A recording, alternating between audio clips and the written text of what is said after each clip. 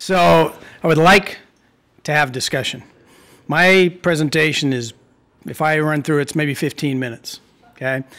When uh, Dr. Campbell introduced his, he said he was going to be at a high level. Well, I'm not bringing it down any closer to, to the earth than, than his presentation. I think you'll see a lot of similarities. Um, but I would like discussion and feedback. It's an important part of how we approach things in Syngenta. So, as James introduced me, I'm responsible for our seed development programs. That's basically our breeding programs at Syngenta. We, I'm responsible for a group of people who develop better genetics for farmers. Now, this audience may be familiar with that, seeds for farmers, but I find it remarkable how many people I speak to, they ask me, What do I do? And I tell them, We develop seeds for farmers. They're just like, Seeds for farmers? Why do you do that?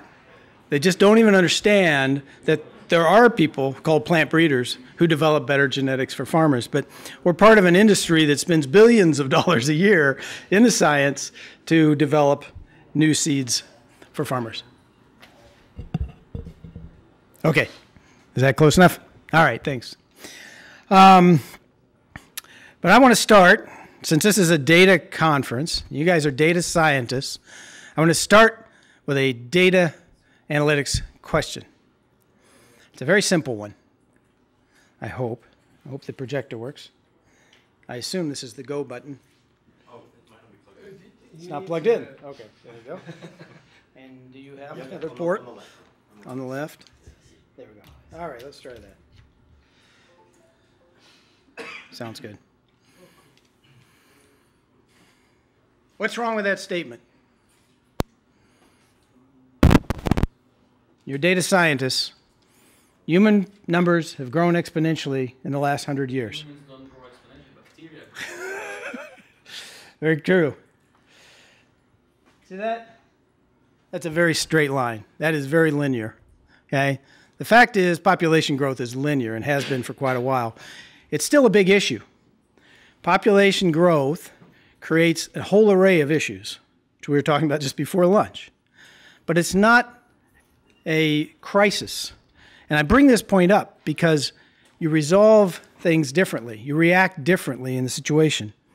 So, that really awful movie last year, if anybody saw it, Inferno, was all based on this belief that population doubles every time. Well, it simply doesn't. So, it's a solvable problem. Still a big problem.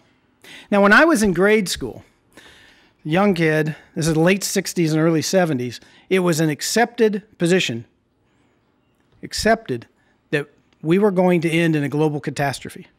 I mean, this was actually accepted. In fact, a lot of the models said it would happen by now. Human population was going to continue to expand exponentially. We are going to deplete all the food and water and other resources, and we were going to be buried in trash and pollution. All the models said this. Really, it was not a matter of if that was going to happen, it was simply a matter of when. And some of the models said within 50 years. Well, what actually happened is human population was pretty inconsistent, slow growth. And then around the age, the scientific age, the beginning of the scientific age, is when population began to increase exponentially. It was when innovation became the norm, when we started to invent. We had the Industrial Revolution, we had the Agricultural Revolution. It enabled that growth. But the exponential period actually stopped around 1965. It's been linear since then, and it's actually starting to slow. So that's actually a good thing. It's still a challenge. It's a challenge, but it's not a catastrophe. So, what really did happen since I was a kid in grade school? The world did not end. I know that with confidence. What did happen in the last 50 years, population did grow very dramatically, more than doubled 3.3 billion to 7.4 billion. Huge growth. But the amazing thing, the totally unexpected thing, was during that period of unprecedented population growth, we also had unprecedented improvement in the quality of life. In that period of time, global life expectancy increased almost 20 years. Since 1960 to today, global life expectancy is 20 years longer. In 50 years, it improved 20 years. It's unbelievable. The main contributor was a reduction in child mortality. In 1960, in the average in the world, 20% child mortality. One out of five children died before the age of five in 1960. I was alive at this time. Now that's down well below 1% in most developed countries, and it's getting there quickly in the developing world. So that's some pretty significant improvements in quality of life while this incredible growth in population. How did we do it? You know the answer to that too. It's one word. All of those are part of the same word innovation. It's innovation. We had innovation in medicine, we had innovation in agriculture, we had innovation in sanitation. Innovation, because human beings are the only thing in nature that can solve problems. You can say it's what it means to be human. We solve problems, right? We are not constrained by evolution. We can choose changes. So, what happened in agricultural production in this period of time, we not only met the challenge of the growing population, we far exceeded it. Grain production in the last 50 years, almost fourfold increase. Soybean production, 11 fold increase in 50 years. 80% of that growth came from productivity, yield per hectare, not by adding more hectares, but by driving up the yield per hectare. That's how we met the demand. So it's quite an amazing story of human ingenuity overcoming what was, met, what was expected to be a catastrophic challenge. Even if you look around the world today and you compare countries, because what was the quote? That, uh, you know, it's not distributed equally. If you look around the world today, in those countries which are still primarily agrarian societies, that is, more than half of the population is engaged in agriculture, they have 10 times the average child mortality and 18 years shorter lifespan on average than countries with the most advanced agricultural technology. Agricultural technology is the basis of these improvements in quality of life and antibiotics and uh, vaccinations as well. While this was going on, this great increase in agricultural output, it was an even greater increase in productivity, labor productivity. 1817 in North America, sorry I'm in Canada, I use the United States, but it's true of all of North America. In 1817, it required two farmers to feed three people. Two thirds of the people lived and worked on the farm. On top of two or Nope. Nope. They themselves plus one, right? That was 200 years ago. 100 years later, the productivity had doubled. That was the beginning of the use of mechanization and fertilization and some better genetics. We'd actually gotten to where it only took one person could feed three. They could feed themselves and two others. That's a great advance. The 100 years after that, productivity increased by a staggering 25 fold. So now one farmer feeds 80 people in North America. Where did they go? It used to be that two thirds of the people lived on farms and worked on farms. And now you got one and a half percent of the people live and work on farms. Where did they go? Where are all the people? They went to the cities. And what did they do when they got there? They became doctors and engineers, and some were lawyers in industry, and professional athletes and, and data scientists. Guys, there wouldn't be data scientists if there weren't this level of agricultural productivity because you'd all be Working working on a farm.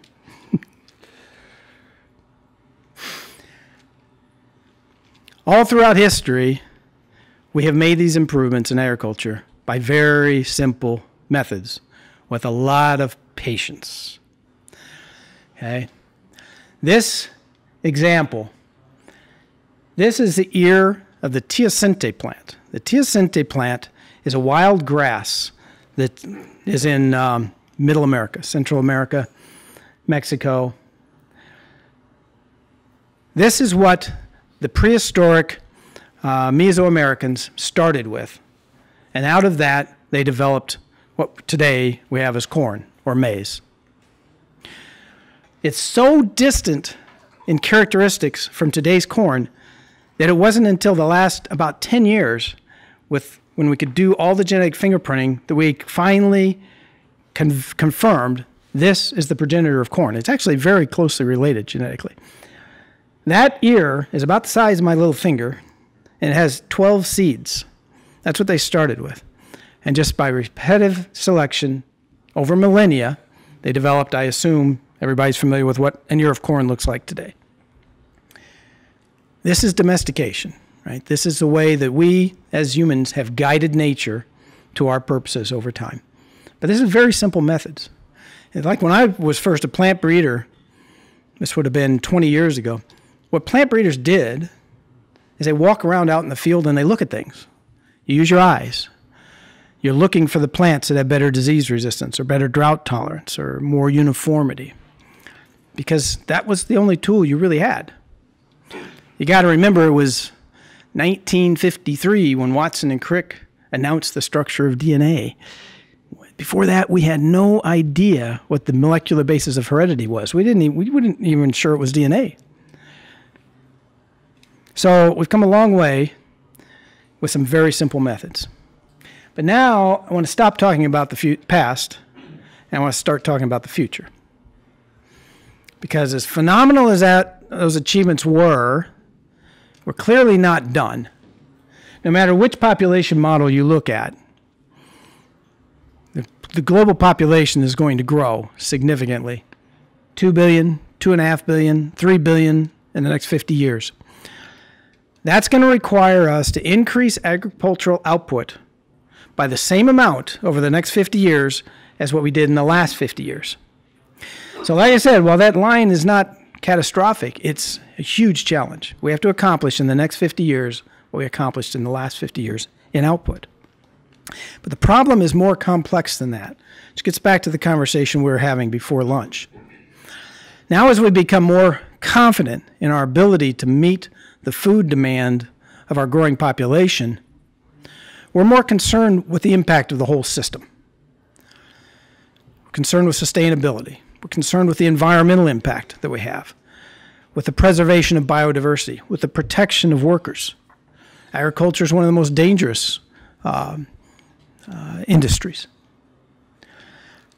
It's Syngenta's very strong belief that we can achieve the improvement in productivity and output that we need and accomplish all these things at the same time. That these are not in conflict with each other. We call that good growth. That's our name for that. We can grow while achieving these things. And we have a plan, which we call the Good Growth Plan. the Good Growth Plan is a collaborative project between ourselves and growers and governments and NGOs to develop not only a set of targets and approaches to these problems, but to measure them and report on them using not only our own data, but third party data and external validation and um, uh, confirmation through audits. And we work with the Open Data Institute to set the standards for the data and help us to publish the data and make it available for other scientists to be able to work with. You can read about it at goodgrowthplan.com. But you can see it's about food productivity, biodiversity, maintenance of farmland, and also about the workers. Most agriculture in the world um, is still by smallholders, keeping people safe and making sure that the labor conditions are fair. Every year we publish the results tracking our performance against the targets. The one thing that I'm really confident about, I'm confident we can accomplish all that, but I'm absolutely certain that those methods that got us that improvement of the last 50 years are not going to get us what we need in the next 50 years. We're not going to get there by walking around looking at things. The easy stuff's already been done. We are way up the curve of diminishing returns. Now we're going to get into the era of data driven decision making. We have to get into analytics. It's way beyond what our mind can conceive of alone. We have to look at characteristics that are far beyond what our eyes can detect. Now, we're fortunate because the technology wave is still ahead of us. We have the data now that even 10 years ago we didn't have. 10 years ago, we lacked both the access, the availability of the data, and the data quality to be able to do any of the analysis necessary to improve our agricultural outputs. Today, I mean, just take for example uh, genotyping, genetic fingerprinting. In a period of 15 years, the cost to do genetic sequencing dropped by 100,000 fold. 100,000 fold. So it cost a million dollars before, cost $10 now. So we routinely genotype, do a genetic fingerprint on all the new genetics we develop. So we have hundreds of thousands of new genetic lines that we have genetic fingerprints on every year. So we generate a lot of data. We also have very high density weather data now, recording all the weather parameters, wind speed, light intensity, heat, humidity, and a high density grid constantly throughout the season. We have uh, the phenotype data. We talked about satellite image data. We have drone collected phenotype data. We have the data directly off the harvesting machinery at the time of harvest. We had all this data. One thing is, in the last 10 years, we went from data poor to data rich in agriculture. In fact, I would say data drowning. We have the data, we're not entirely sure how to manage it. Why we have things like the big data hub in, that, uh, in Illinois. Because right now we're just trying to figure out how to manage the data. We've barely even started to explore the data and how to uh, find the insights that are in there. But what we do know is it's going to follow a pattern like other technical endeavors have followed. The past was about you go out and you observe and you describe. This plant grew here, it was really hot, didn't look too good. Probably doesn't like growing in the heat. Now we're building models. We're bringing the phenotype, the genotype, the environment information together to build the models of the relationships. That's what this AI challenge was about. The models allow us to predict. As we get better at predicting, we can start to actually design the outcomes. We're not the first industry to do this. In fact, we're probably the last, right? Every technical endeavor in the past worked from a trial and error approach. Let's try it and see. You think of how the Wright brothers built air, their aircraft. But we don't do that anymore. We don't build aircraft or cars. We don't design new ones by, well, let's just try it and see, right? We have models, and the models are built on basic principles of physics. We're now just starting to bring biology into this era where we can actually build the models sufficiently that we can predict the outcomes rather than just trying things at random. Now, it's not going to be that simple in biologic, biological systems like agriculture. Agricultural um, systems, the, the, the biological uh, organisms themselves are very diverse. It's much more challenging than a mechanical engineering problem. You also have the diversity of an unstable environment. The plants live outside. The environment and the ecosystem itself are actually changing all the time. But the, the pests are evolving as well. Cropping patterns change. The demand for the outputs change. So the growers change their, their practices. All this is changing, and we're trying to develop models within this changing environment.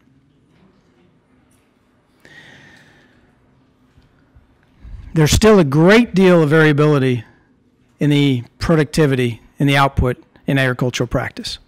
These are national average yields of maize or corn from two tons in Kenya to 11 tons in the US.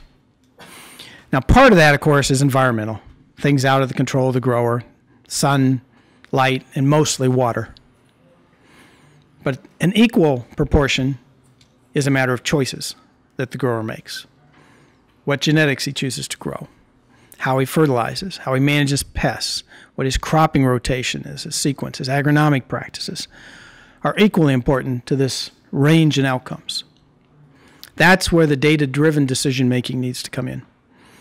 Is to start to bring the best practices in at a data level. These should be data-driven decisions. That's where the next advance is going to come in agricultural productivity. Here's a real simple example. This is one corn hybrid in North America. And if you look at on the far left, if you just grow this hybrid indiscriminately, what you see is it actually has a performance disadvantage. It underperforms other hybrids that a grower could choose. But if you choose the growing uh, uh, management and the soil and the placement correctly, this hybrid will outperform. That difference between minus seven and plus five, that yield advantage, more than a 5% yield improvement, that can easily be the difference between profit and loss for a farmer. Very often, the profit margin for a farmer is no more than 5%. So choosing the right thing in the right place can make that big a difference. And you can see the scale factor, right? A 5% difference in yield in North America has a $2.5 billion impact on agricultural output. But this is actually a very simple example. We can do this. We can look at the environmental data. We can look at the performance data. We can say this product performs better in these situations. We can go and we can say where are those situations likely to happen. So where should this product be grown and where should it not be grown? That's very basic. It's a good step, but it's not going to get us to where we need to get to. To design better products, better genetics, we're going to have to understand not just that it performed differently, but why. Why it performed differently. The reason that some hybrids do better in some environments than others is because of their genetics. It's at the genetic level, right? Different genes responding to environmental stimuli in different ways. We are just starting to scratch the surface on this problem. Dissecting environmental response down to the gene level to say what genes respond to what stimuli. So this happens to be a flowering control model. If I want to move flowering earlier or later, well, in a hot environment, in a cold environment, in a short day, in a long day, we have to dissect this down to the individual genes and the and the uh, alleles that respond to those environments, and we can now start to construct a more stable flowering, an earlier flowering, a heat insensitive flowering. That's really at the front edge. But even if we get all that, okay, we get to where we understand the environmental response at the gene level, we're still not going to be able to make exact predictions. There is no fortune teller. You cannot go to the fortune teller and say what's going to happen because it's an unstable environment. You can't predict the environment sufficiently in the ecosystem as well. We are in an in a probabilistic um, uh, environment. We need to think differently. Our models should not be looking at deterministic outputs, but at probabilistic outputs.